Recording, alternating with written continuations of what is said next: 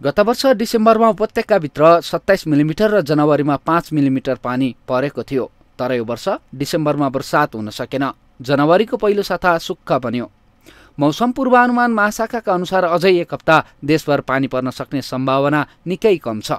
हिमाल पहाड र तराई गरेर नेपालमा तीन तहको भूबनोट छ। हिउँदमा हिमालसहित उच्च पहाडी भूभागमा हिउँ पर्छ भने मध्य पहाडदेखि तराईका फाँटहरूमा वर्षा हुने गर्छ। वर्षाले वायुमण्डलको सतहमा जमेर बसेको प्रदूषण सफा गर्ने काम गर्छ।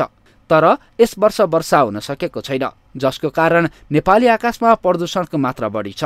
यति बेला जनकपुर र भैरवाको बीच भागमा शीतलहर जारी छ। तराईका क्षेत्रमा त्यहाँको लोकल मोइस्चर जलवाष्प अथवा त्यहाँको चाहिँ प्रदूषणको कारणले गर्दाखेरि बाक्लो हुस्सो गहिरो साथसाथै तराई मात्र होइन त्यो भनेको चाहिँ इन्डियाको भूभाग उत्तर प्रदेश बिहार होइन दिल्लीदेखि नै पुरै बङ्गलादेशसम्म नै अहिले चाहिँ फगले पुरै चाहिँ ढाकेको अवस्था चाहिँ छ। हुस्सो कुहिरो अथवा शीतलहरको कुरा गर्दाखेरि चाहिँ यो वर्ष विशेष गरेर मध्य तराई भन्छौँ हामी यो चाहिँ भैरुवादेखि पूर्वतिर जनकपुरदेखि पश्चिमतिर। यो बिचमा चाहिँ बढी चाहिँ लामो समय चाहिँ कुहिरो रह्यो। दुई दिन तिन दिनसम्म घाम नलागेको अवस्था छ। त्यहाँ चाहिँ त्यो तापक्रमको हाम्रो जुन यो बाक्लो हुस्सु अथवा शीतलहर हो कि भन्ने कुरा हाम्रो क्राइटेरिया छ।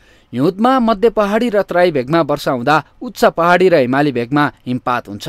मौसममा आएको परिवर्तनका कारण यस वर्ष हिमालमा पर्याप्त मात्रामा हिउँ पर्न सकेको छैन।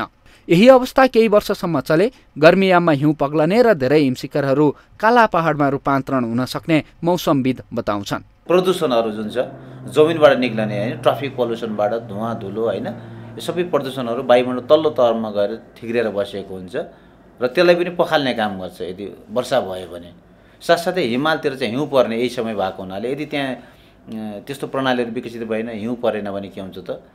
त्यो हिमालमा जुन एउटा सोर्स हो जो हिउँको त्यो चाहिँ टुट्न जान्छ र पग्लिने मात्रै काम भयो भने के हुन्छ त्यहाँ?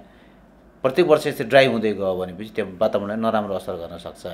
हाल नेपाली आकाश धुमिल छ। तुवालो र उसुका कारण भिजिबिलिटी कम हुँदा आन्तरिक उडान समेत प्रभावित हुने गरेका छन्। घामका कारण दिउँसो केही रात भए पनि बिहान र बेलुकी चिसो बढेको छ। काठमाडौँमा गत वर्षभन्दा यो वर्षको तापक्रम कम छ। गत वर्ष सबैभन्दा कम दुई दशमलव छ डिग्री सेल्सियस पुगेको थियो भने यो वर्ष दुई दशमलव पाँच डिग्री सेल्सियस तापक्रम पुगिसकेको छ।